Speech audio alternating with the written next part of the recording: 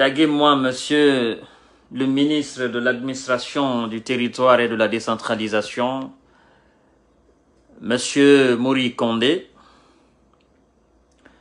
J'ai deux petits sujets aujourd'hui que nous allons débattre ensemble durant quelques minutes avant d'aller dormir, Inch'Allah, si le Tout-Puissant Allah nous le permet.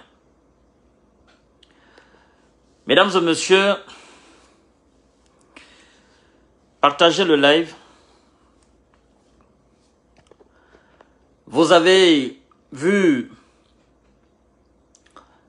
le communiqué certainement ou l'adresse de la part du ministre de l'administration du territoire et de la décentralisation, M. Condé, le courrier qu'il a adressé aux partis politiques et aux coalitions, aux coalitions politiques. Je me permets de lui poser la question, évidemment, de savoir exactement ce qu'il veut. C'est une question très intéressante. Nous devons effectivement savoir ce que le ministre de l'administration veut. Voilà. Nous savons que le poste ministériel est un poste purement, euh, purement politique. Mais les postes ministériels aujourd'hui, les citoyens guinéens qui occupent aujourd'hui des postes ministériels, ils doivent savoir que eux, ils ne doivent pas faire de la politique. Parce que c'est lui qui est président de la République de Guinée aujourd'hui, n'est pas politique. C'est quelqu'un qui a pris ses responsabilités, qui a pris des armes, qui a pris effectivement sa troupe et qui est allé déloger un dictateur civil qui avait un gouvernement civil et qui faisait de la politique. C'est-à-dire la différence entre le gouvernement Alpha Condé et le gouvernement euh, colonel Mamadi Doumbouya, la différence est que le gouvernement Alpha Condé, les postes ministériels étaient purement politiques. Parce que nous avions à la tête à l'époque un politique à la tête, un citoyen politique à la tête. Quoi qu'on dise, qui a organisé son élection et qui a truqué ses, élections et qui, qui a voulu se maintenir à la tête. Donc aujourd'hui, nous n'avons pas un nous n'avons pas un politicien civil à la tête de l'État. Ça c'est premièrement. Deuxièmement, le militaire qui est là, il n'est pas venu à travers les urnes. Il a fait un coup avec ses hommes.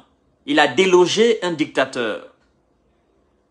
Il a délogé un civil.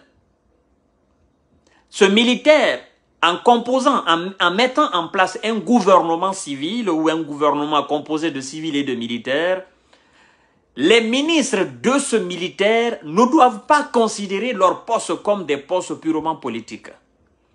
C'est là. Ils sont en train d'induire le colonel en erreur.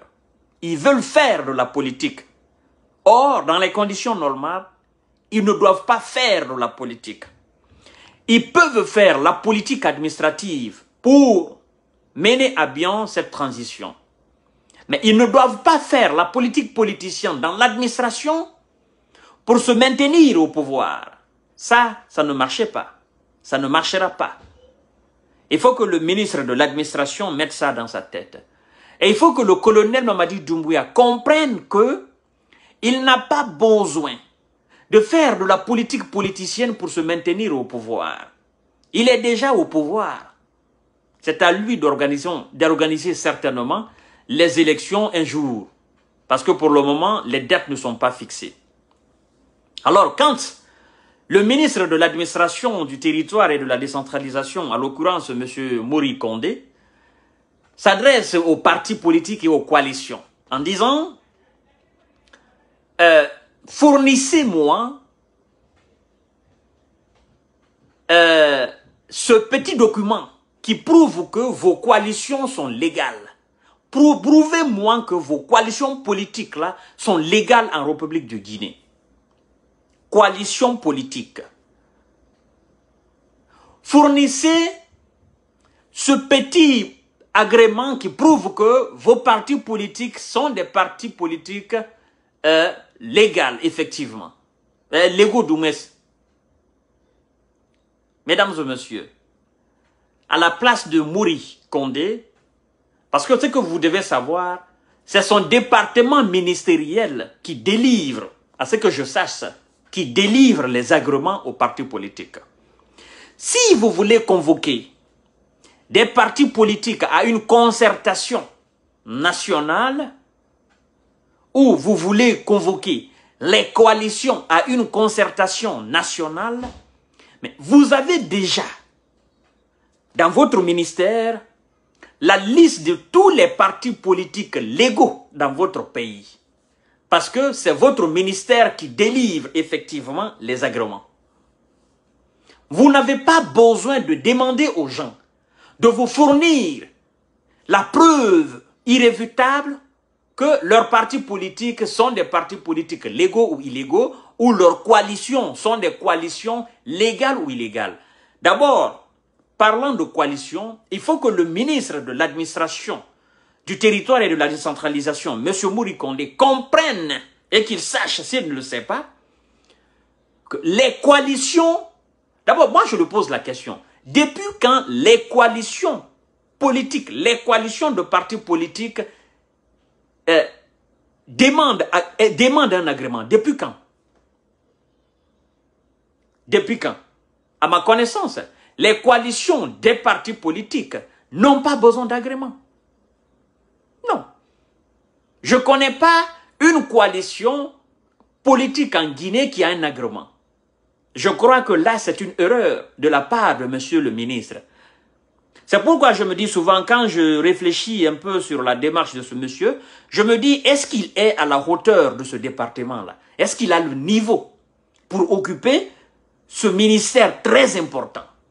Ce ministère stratégique, est-ce qu'il a, la, la capacité Est-ce qu'il a la compétence d'occuper ce ministère-là?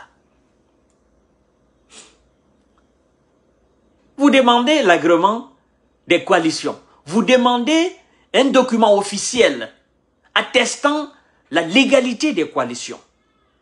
Mais, Monsieur Mori, je crois que vous êtes dans l'erreur. Les coalitions n'ont pas besoin d'agrément. Vous êtes ministre de l'administration et de la décentralisation. D'accord? Maintenant, Posez la question à vos prédécesseurs, ceux qui vous ont précédé là, à la tête de ce département. Demandez-les, est-ce que depuis que la Guinée est Guinée, la Guinée est Guinée, depuis qu'on a créé, depuis que les coalitions des partis politiques existent en Guinée, est-ce que ces coalitions ont une fois demandé un agrément? Ils vont vous poser ils vont ils vont vous répondre tout simplement en disant, ben, les coalitions n'ont pas besoin d'agrément. Depuis quand on délivre un agrément pour une coalition? C'est les partis politiques qui font ce qu'on appelle la coalition entre eux. Maintenant, ces partis politiques, ceux qui sont légaux en République de Guinée, ils ont tous un agrément. Parce qu'on ne peut pas être un parti politique exerçant effectivement, euh, disons, ce métier de parti politique ou de président de parti politique. On ne peut pas l'être officiellement sur euh, la scène politique guinéenne ou dans un pays, dans n'importe quel pays au monde, sans avoir un agrément. Si vous demandez les agréments des partis politiques, je suis parfaitement d'accord avec vous. Mais même cela, je peux aussi contester. Je peux dire, mais, monsieur le ministre, qu'est-ce que vous voulez? Vous êtes le professeur dans une classe. C'est vous, c'est-à-dire sur votre liste d'appels, est inscrit tous les noms de, vos élèves. Vos élèves ont leur nom inscrit là. Maintenant, au milieu de l'année, par exemple, vous demandez à vos élèves de vous fournir leur nom, c'est-à-dire s'ils appartiennent à votre classe. Pourtant, au début de l'année, vous, vous savez déjà le nombre d'élèves que vous avez, parce qu'ils sont déjà inscrits. Ceux qui sont, c'est-à-dire les élèves qui sont inscrits officiellement dans cette classe-là. Vous connaissez le nombre, c'est 50.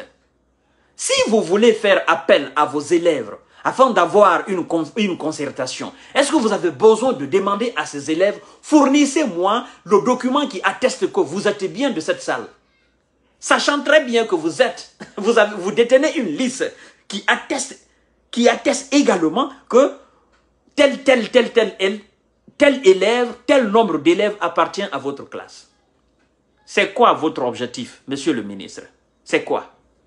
Qu'est-ce que vous voulez? Vous voulez passer par des stratégies pour prolonger un peu cette transition? Moi, je dis qu'il y a des manières à faire pour allonger cette transition. Vous n'avez même pas besoin de ces petits jeux-là. Vous n'avez pas besoin. Écoutez, monsieur le ministre, en 2010, il y a eu coalition entre le RPG et le PDN. Le PDN qui a donné sa voix au RPG. Ils ont signé des accords. Alors cette coalition-là, des partis qui ont contribué à la victoire, soi-disant victoire d'Alpha Condé en 2010, est-ce que le ministre de l'administration et de la décentralisation. D'alors, est-ce qu'il a demandé que, oui, ou bien est-ce qu'il a cherché à savoir, mais écoutez, ceux qui viennent là dans le RPG Arc-en-Ciel, qu'ils sont en train de se battre là pour Alpha Condé, est-ce que vous êtes légaux? Voyez-vous? Maintenant, aujourd'hui, s'il s'avère que ces partis qui ont, fait la coalition avec Alpha Condé en 2010, le RPG Arc-en-Ciel, s'il s'avère que tous ces gens, effectivement, cette coalition n'a pas de base légale. Ça voudra dire que tous ceux qui ont voté dans cette coalition et qui ont porté Alpha Condé à la tête de l'État, c'est un vote nul, c'est un vote illégitime. Ça voudra dire que le RPG arc-en-ciel, cette même coalition qui était à la tête de notre État, c'est une coalition illégitime. Et donc, tous les, tous les militants sympathisants des autres partis politiques qui ont composé avec le, RPG, ça veut dire que c'est illégitime. Alpha Condé était dans un pouvoir illégitime. Parce que c'est ce que vous voulez dire. Donc, ceux qui ne, les coalitions qui ne prouvent pas, que, ne, qui ne fournissent pas de documents attestant qu'elles sont réellement euh, euh, légales dans notre République, mais écoutez, vous ne vous adressez pas à ces coalitions-là. Et vous n'aurez pas de coalition qui va vous fournir effectivement ces documents officiels. Parce que ça n'existe pas, nulle part ailleurs. Cherchez à bien connaître votre département ministériel. Vous allez éviter des erreurs. Vous allez éviter des erreurs. Et si vous n'êtes pas à la hauteur de ce département, moi je demande tout simplement au colonel Mamadi Doumbouya de vous démettre de votre fonction et de mettre là quelqu'un qui a la capacité effectivement, quelqu'un qui est à la hauteur de ce département-là. Parce que vous ne pouvez pas être ministre de l'administration du territoire et de la décentralisation avec un niveau très faible. Parce qu'on se rend compte de votre niveau à travers vos agissements. C'est aussi simple que ça.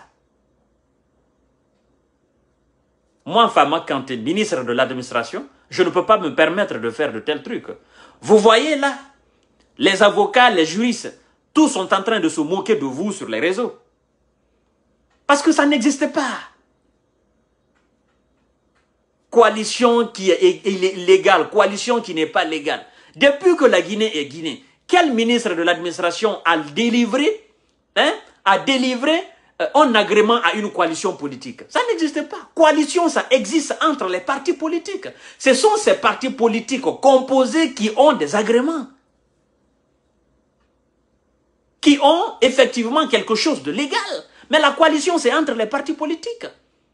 Alors je vois des personnes très profanes qui s'attaquent à ces coalitions, Correct, Anat, nanani, nanana, ouais, ils n'ont pas de, documents officiels. Je vous pose la question, vous, vous qui vous moquez à ces, à ces, à ces coalitions-là, je vous pose la question, dites-moi effectivement, quel est le département qui délivre en Guinée un agrément pour une coalition en Guinée? Ça n'existe pas. Monsieur Mouri, vous savez, moi, j'ai déjà compris le jeu. J'ai déjà compris les manèges. Je ne veux pas danser cette musique-là. Si vous ne faites pas attention, vous allez salir le colonel Mamadi Doumbouya par vos agissements, par vos manières. même si le colonel a l'intention de rester au pouvoir, je dis bien même si, c'est pas officiel, je le mets dans le conditionnel, même s'il a l'intention de rester au pouvoir, vous qui êtes à ses côtés, vos manières, vos manières de faire afin de maintenir le colonel au pouvoir, vous le salissez et vous mettez chaque fois des bâtons dans ses pieds. Oui. Parce que vous êtes trop amateur. Sincèrement, quand je vous, quand je vous écoute, moi, quand je vous écoute, je vois en vous quelqu'un qui n'a vraiment pas euh, la maîtrise de ce qu'il veut faire ou ce qu'il... Euh, je, ne vois pas en vous quelqu'un qui peut occuper un poste ministériel en Guinée, sincèrement. Je ne sais pas par quel miracle vous vous êtes retrouvé là, M. Mourikonde. Je ne sais, sincèrement, je ne le sais, je je ne, je sais pas. Et puis, ce qui est marrant dans tout ça, vous vous adressez à des personnes qui ont occupé des postes ministériels en Guinée. Vous vous, vous vous adressez à des personnes qui ont occupé des hautes fonctions, qui ont la maîtrise parfaite de ces départements que vous. Donc quand ils vous voient là, ils rigolent, ils disent, mais ce, ce, ce, ce, gamin-là, lui il se prend pour qui? Vous adressez un tel courrier à M. Sidi Touré, mais il vous, il vous regarde, il rigole. Il rigole. Et face à lui, il peut vous démonter pièce par pièce. C'est-à-dire face à un, un mec comme Sidi Touré ou Seydou Diallo et face à même à un mec comme Kassouri, mais il vous met dans, dans le pain comme le mayonnaise et puis il bouffe. Parce que là, il va vous taper, il va vous montrer votre ignorance par rapport à ce département-là. Mais je dis, colonel, vous savez, j'aime citer cette citation, quelqu'un qui disait que si les grades et les titres, les honneurs et les distinctions permettent d'avoir des places confortables dans l'organisation sociale, force est de reconnaître que les mérites personnels sont rarement reconnus et que les dignités apparentes importent plus que les valeurs intrinsèques. Je crois que ces gens sont devenus ministres en Guinée, certainement par relation.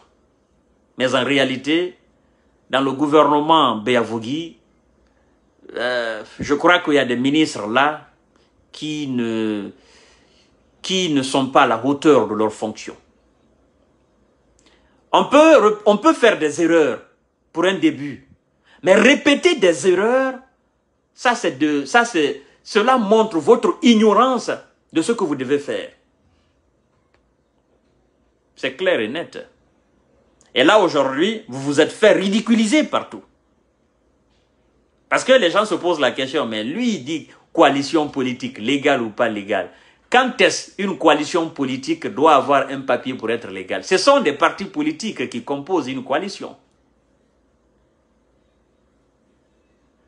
Oui.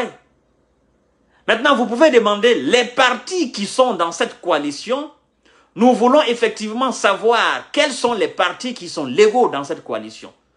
Cette demande peut être appréciable. On peut comprendre le sens de cette demande en disant, dans telle coalition, nous voulons savoir, il y a au moins 10 partis politiques réunis dans cette coalition-là. Maintenant, parmi ces 10-là, quels sont, euh, ceux qui ont l'agrément? Mais moi, je sais, quelque chose. Aucun parti politique ne peut appartenir à une, euh, à une coalition, aucun parti politique ne peut appartenir à une coalition en République de Guinée sans avoir l'agrément. Non. Parce que c'est quand même, bête. Vous ne pouvez pas vous, vous lever un matin pour dire je suis parti politique. Et puis, je vais traiter avec l'ANAD, je vais traiter avec correct. Vous pensez que les gens qui travaillent dans ces coalitions-là de partis politiques, vous pensez que ces gens ne réfléchissent pas? Avant d'intégrer, toi, parti politique, avant que tu n'intègres dans une coalition, il faudrait d'abord que vous montriez des documents officiels attestant que vous êtes réellement un parti politique. Vous pensez que les gens peuvent se permettre comme ça d'intégrer l'ANAD avec la bouche? Oh non, je viens, je, euh, je, je, je, traite avec l'ANAD, je suis parti politique. Mais il faut montrer, il faut, il faut montrer un document officiel aux membres de l'ANAD qui atteste que votre parti politique est un parti politique légal sur le territoire guinéen. C'est-à-dire que vous avez un agrément. Monsieur Mori, si vous voulez avoir, si vous voulez envoyer, vous voulez vous, vous voulez vous adresser à ces coalitions, c'est très simple. Vous avez la liste là-bas. Vous êtes ministre, au département ministre, votre département là. Vous avez la liste. Vous connaissez effectivement tous les partis politiques guinéens qui sont légaux, qui ont l'agrément, vous les connaissez. Vous n'avez pas besoin de leur demander. Si vous voulez envoyer un courrier, si vous voulez les inviter dans cette concertation nationale, concertation nationale, les partis qui ont l'agrément, qui sont dans votre boîte là, dans votre liste là, envoyez l'invitation à ces partis. Ceux qui ne sont pas légaux, qui n'ont pas d'agrément, vous ne vous souciez pas de ces partis. Vous n'avez pas besoin de vous soucier de ce parti. On dit on doit faire l'examen dans une classe, dans une école par exemple. Le nombre des élèves sont connus par le directeur. Ou le nombre, de candidats est connu effectivement par le directeur ou bien par le proviseur. Le proviseur envoie le nombre exact de ses candidats au ministère de l'éducation universitaire ou préuniversitaire. Parce qu'il a la liste, c'est lui le proviseur du lycée le proviseur effectivement du, collège, il connaît effectivement le nombre de candidats inscrits sur sa liste, la liste générale, c'est-à-dire de son, de son lycée ou de son collège. Alors, c'est le proviseur qui doit envoyer la liste. C'est lui qui envoie, il connaît. Alors, tous ceux qui ne sont pas inscrits sur cette liste-là ne peuvent pas prévaloir faire un examen. Parce que vous n'êtes pas élève de ce lycée ou de ce collège. Tout simplement. Le proviseur n'a pas besoin de demander. Les professeurs principaux dans les différentes classes, bon, faites-moi la liste officielle de tous les élèves, de tous les candidats de vos classes. Mais les, professeurs principaux dans les différentes classes, ils vont se dire, mais qu'est-ce qui se passe là? Le, professeur, le, le proviseur du lycée ne connaît pas la liste exacte des candidats, il ne connaît pas. C'est nous qui devons faire cela. Alors écoutez, j'ai trouvé un moyen de me faire de l'argent, moi en tant que le professeur principal. Je vais prendre des candidats libres, je les inscris sur ma liste, j'embosse l'argent. Parce que c'est lui, lui, il me demande. J'ai compris que lui n'a pas la liste officielle. Moi, je vais embaucher. Maintenant, le professeur principal, il prend des élèves pêle-mêle dans, dans les quartiers il les inscrit sur sa liste. Il dit, bon, dans ma classe, il y a 250 candidats. Or, ceux qui sont officiellement dans sa classe, c'est juste 200. Mais lui, il déclare, dit, j'ai 250. Il fait cette liste, il envoie au proviseur. Le proviseur n'a pas une liste officielle. Mais le proviseur, il prend cette liste-là, il envoie. Vous pensez qu'il y a de l'organisation dans ça? Ou bien c'est peut-être un piège? Le proviseur demande aux professeurs principaux, faites une liste de vos candidats. On envoie, le proviseur ayant la liste officielle de tous les candidats qui sont effectivement dans son établissement, il fait une comparaison. Il dit, ben écoute, toi tu as ajouté, toi tu as ajouté, je ne connais pas tel élève, je ne connais pas tel, tel élève. Mais ça, c'est la lenteur dans l'administration. L'administration n'a pas besoin de ça. Ça, c'est un dysfonctionnement total.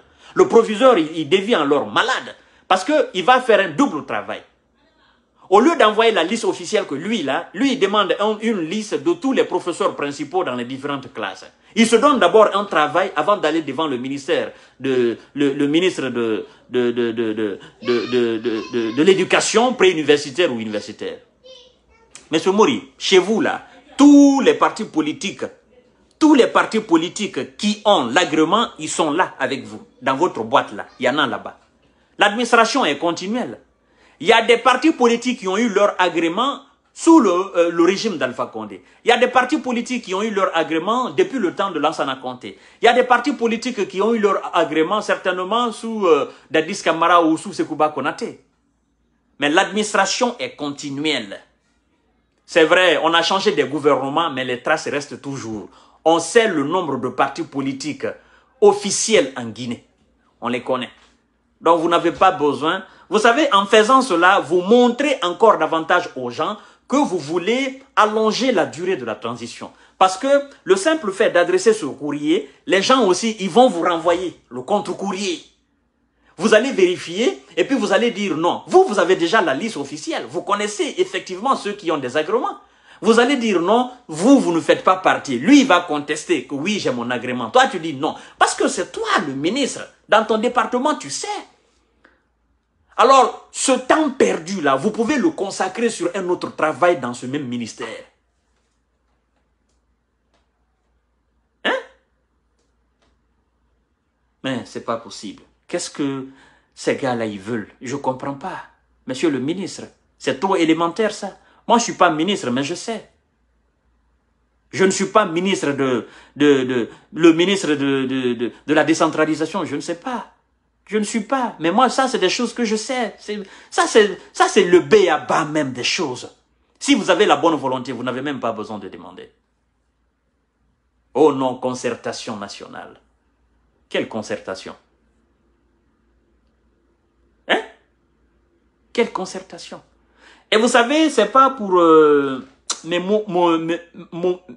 moquer de lui, c'est pas pour le dénigrer, c'est pas pour le rabaisser, mais entre nous Guinéens, lorsqu'on s'assoit entre nous Guinéens, journalistes, jeunes, intellectuels, lorsqu'on s'assoit entre nous, qu'on voie, euh, qu'on essaye de mesurer un peu euh, la qualité intrinsèque de ce gars-là, Morikonde, sincèrement, on trouvera qu'il n'a pas le niveau pour occuper ce poste.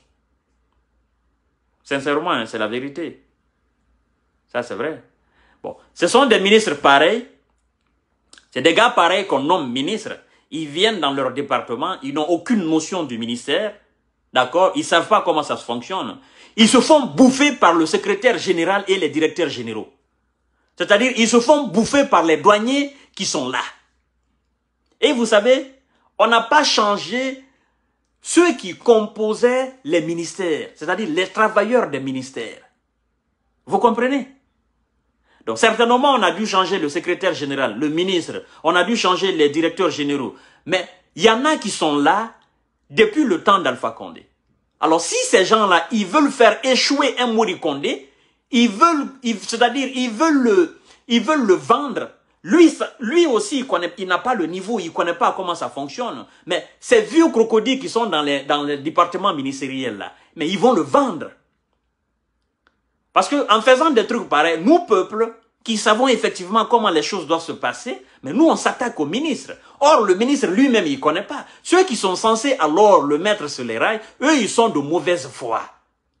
Parce qu'ils sont fidèles certainement à un régime qui a été délogé. Vous comprenez un peu? Parce que le ministre, en, faisant les choses, il ne le fait pas tout seul. Le ministre, il concerte quand même des travailleurs.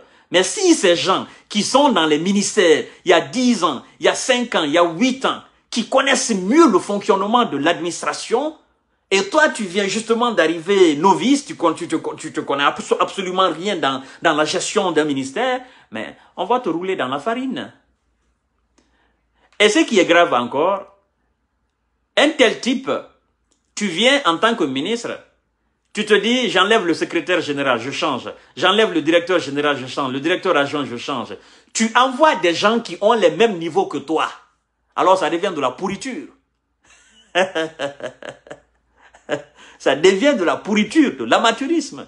Ton secrétaire n'a pas le niveau. C'est-à-dire que tu as le même niveau que ton secrétaire. Ton secrétaire, c'est-à-dire toi, ministre, ton secrétaire général, D'accord? Ton directeur, le directeur adjoint, vous avez le même niveau. Là, ça devient sincèrement euh, grave. Donc, Monsieur Mori, c'est pas pour vous dénigrer, c'est pas pour vous attaquer, mais j'aurais souhaité que vous fassiez les choses autrement, quoi. Si vous voulez effectivement maintenir le colonel au pouvoir, trouvez autre astuce. D'accord? Mais ne passe pas par des manèges qui sont facilement décelables. D'accord? Qui sont facilement décodables. Après, vous savez que la jeunesse guinéenne a une conscience maintenant politique. Et donc, euh, les gens ne se laisseront plus euh, se manipuler. Voyez-vous? Alors, mesdames et messieurs, je ne vais pas tarder sur ce sujet. Je pense qu'il a compris déjà parce que les personnes mieux instruites et plus instruites que moi euh, ont réagi et je pense que c'est une erreur qu'il a faite. Alors, je m'adresse, je, je m'attaque maintenant au deuxième dossier, le deuxième sujet de notre live. C'est concernant monsieur le colonel Mamadou Alpha Bari qui est en prison depuis, euh, je crois bien 2009, qui est dans un faux dossier et qui est en prison parce qu'il y a des gens en Guinée qui veulent qu'il soit en prison. C'est dommage. C'est dommage, sincèrement, c'est dommage. Et ces gens qui veulent qu'ils soient en prison, ces gens aujourd'hui sont là. Ils sont placés à des places de responsabilité, ils occupent des postes haut placés. Et donc, euh, je me dis, champion, tiens bon. Tiens bon, parce que si le colonel Mamadi Doumbouya est venu rétablir l'ordre en Guinée, est venu déloger le dictateur Alpha Condé que personne ne s'attendait, est venu libérer le peuple de Guinée, est venu ouvrir les frontières qu'Alpha Condé avait fermées. C'était en 2020, effectivement, Mamadou Alpha Bari a été emprisonné. Je me dis, colonel euh, Alpha, Mamadou Alpha Bari, euh, ton libérateur viendra, il va te libérer. Le moment encore n'est pas venu, certainement. Ton libérateur, il va te libérer. Parce que je me suis intéressé à ce dossier, j'ai beaucoup étudié le dossier, euh, j'ai compris qui est derrière le dossier, je comprends aussi la position de la personne qui est derrière le dossier. Vous savez, en, Guinée, il y a un problème d'ego. Il y a un problème d'ego. Les gens, quand vous travaillez dans des postes où euh, vous occupez des fonctions similaire à quelqu'un d'autre, ou vous occupez des fonctions que d'autres veulent effectivement, vous savez, c'est très facile de s'attaquer à certaines personnes en Guinée. C'est très facile. Je ne vais pas citer des noms. Mais tout ce que je peux dire euh, euh, au colonel Mamadou Alpha Bari, c'est de tenir bon. La prison, certainement, euh, aujourd'hui, pour lui, c'est c'est un reposoir sûr. Certainement, entre 2000, il est condamné en 2020 ou 2019, quelque chose comme ça, à 5 ans d'emprisonnement. Je me dis, s'il était resté dehors entre sa date de condamnation jusqu'à aujourd'hui, on ne sait pas ce qui aurait pu l'arriver. Et pour éviter ça, certainement, nous qui sommes croyants, Dieu l'a peut-être trimballé en prison pour l'éviter ce qui devrait l'arriver de malheur entre 2020 et 2019. C'est comme ça que je peux concevoir en tant qu'homme de foi. Mais d'autre part, je me dis, c'est lui qui est derrière le dossier, il doit comprendre que lui, il n'est pas, euh, il n'est pas immortel, il est mortel. Il n'est pas invincible, il est vincible. On peut le vaincre. D'accord? C'est lui qui a le pied sur le dossier. Et c'est lui qui a le pied sur la tête du colonel Mamadou Alpha Bari. Il doit comprendre que tôt ou tard, il va sortir de la prison. Et tous ceux qui sont injustement dans cette prison, je me dis que ces gens qui sont en prison, il serait très difficile de leur parler de réconciliation nationale. Il serait très difficile de leur parler de assise nationale où on dit vérité et pardon. Alors, je me dis, ceux qui sont aujourd'hui en train de faire ce travail d'assise nationale, vérité et pardon, voici des gens qu'on doit écouter. Des gars comme le colonel Mamadou Al-Fabari, il y en a plein en Guinée qui sont en prison injustement. Qui sont en prison parce que d'autres veulent qu'ils soient en prison. Vous comprenez? Donc c'est c'est un peu, c'est un peu difficile. Moi, je dis seulement aux champions, tiens bon. Ton libérateur va te libérer. Ça, c'est clair. Et j'attire d'ailleurs l'attention du colonel Mamadi Doumbouya sur ce dossier. Parce que le colonel est venu en tant que libérateur du peuple de Guinée. Et c'est lui qui est venu en tant que sauveur et libérateur du peuple de Guinée. Je crois que des dossiers pareils, il doit s'intéresser de plus, comprendre la profondeur, la nature du dossier. Disons, c'est quand même un gendarme hautement qualifié. Colonel Mamadou Alpha Bari, c'est quand même un gendarme hautement qualifié qui a fait des études, qui est venu passer ici en France, si je ne me trompe pas, deux ou trois ans, comme ça, de formation ici en France. C'est quand même un gendarme hautement qualifié. Alpha Condé lui-même, il a reconnu. Il dit que si il y a trois gendarmes mieux formés, mieux qualifiés en Guinée, que le colonel Mamadou Alpha Bari fait partie. Vous comprenez? Alors, vous savez, il y a quelque chose qui se passe en Guinée. C'est qu'en Guinée, si vous êtes militaire, que vous êtes gendarme, vous êtes douanier, et que vous avez la chance de venir suivre des études ici, dans l'exercice de votre métier, militaire, gendarme et tout ça, que vous rentrez en Guinée, il y a toujours des jaloux derrière vous, contre vous. Surtout ceux qui sont promotionnaires à vous. Parce que vous, vous viendrez en tant que certainement sous-officier ou officier. Et eux, ils n'ont pas eu cette chance de venir faire des formations ici. Donc, ils seront toujours jaloux de vous quelque part. Comprenez? Donc, euh, euh, ils chercheront toujours à vous nuire. Je ne vais pas rentrer dans tous ces tralala, parce que vous êtes des Guinéens qui me suivent. Je sais que vous êtes conscients de ces pratiques en Guinée. Ça se passe dans l'armée, ça se passe dans la gendarmerie, ça se passe dans la douane, ça se passe un peu partout. Euh, ça se passe même au niveau des départements ministériels. Donc c'est quelque chose qui est courant. Mais moi, je dis tout simplement au mec qui a le, qui a le pied sur euh, le dossier de Mamadou, colonel Mamadou Alpha Bari, je dirais tout simplement qu'il faut faire marche arrière et qu'il faut, euh, il faut euh, donner maintenant son aval. D'accord? Son aval pour que ce monsieur-là sorte de prison et pour qu'il puisse te pardonner. Parce que en tant que ce monsieur-là continue de croupir injustement parce que toi tu veux qu'il soit là, au fond de toi, toi, tu seras rongé. Tu seras rongé de, de, de, de culpabilité. D'accord? Et le jour qui sera certainement dehors, je ne sais pas comment tu vas le regarder. C'est là aussi le problème.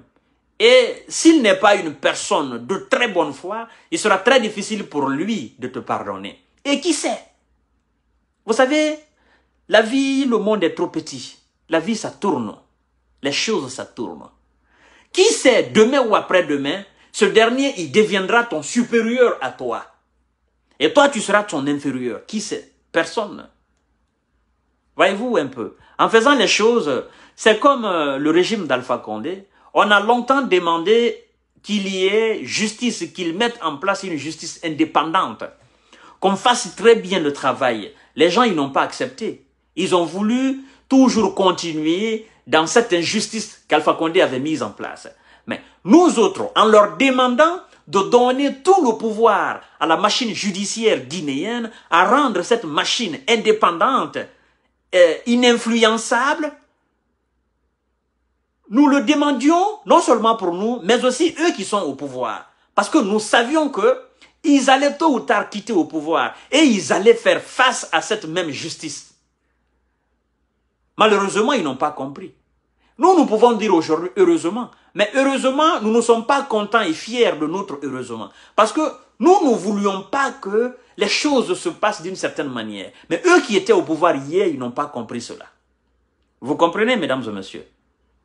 Quand je vois aujourd'hui des gars comme les Kassouri, les Mohamed Djani et tout ça, les gens en train de crier à l'injustice, à l'injustice, je me dis, nous, en tant que citoyens, les avocats de Guinée, ils ont demandé à ce que vous acceptiez l'application de la loi telle qu'elle est en Guinée, l'application du droit tel qu'il est en Guinée. Vous n'avez jamais accepté. Vous avez toujours voulu votre machine judiciaire. Vous avez toujours joué sur la justice guinéenne. Vous avez toujours dompté la justice guinéenne. Et aujourd'hui, les conséquences, c'est vous. C'est vous. Vous subissez euh, les effets de, cette, de cette même justice. Voyez-vous? Hier, c'est nous qui crions. En disant l'injustice. Aujourd'hui, c'est vous qui criez en disant on n'a pas respecté les procédures, on n'a pas respecté ceci, on n'a pas respecté ceci. Vous, on peut dire Alhamdulillah, au moins. Parce que vous, on vous a convoqué, vous êtes venus. Mais nous, là, sous, sous votre régime, là, parmi nous, il y a des gens qui ont été kidnappés de nuit. 3 heures du matin, 2 heures du matin, 4 heures du matin. Je me souviens encore le jour qu'on est allé à 4 heures du matin encercler le domicile de Sidi Touré. N'eût été ce jour-là, la, ténacité, n'eût été euh, l'audace, le courage des jeunes de ce quartier qui se sont mobilisés et qui ont, c'est-à-dire qui ont refusé catégoriquement qu'on vienne chercher, on vienne cueillir Sidi Touré ici, mais il serait aujourd'hui où? Vous êtes, vous êtes allé effectivement encercler le domicile de Silou. Voyez-vous, tout ça c'était de l'injustice. Vous avez, fermé la frontière aux Guinéens. Il y a des gens qui ont perdu des marchandises. Est-ce que vous avez dédommagé ces gens-là?